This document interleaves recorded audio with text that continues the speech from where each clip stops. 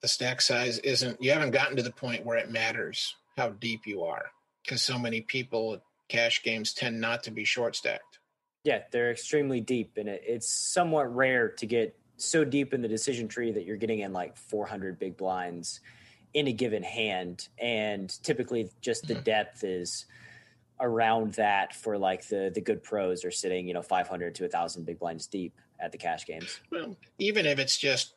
people with 100 or 200 blinds like a lot of one two no limit games around the country that might have a max buy-in of only 200 so you can only buy in for 100 blinds but even at 100 blinds you generally are not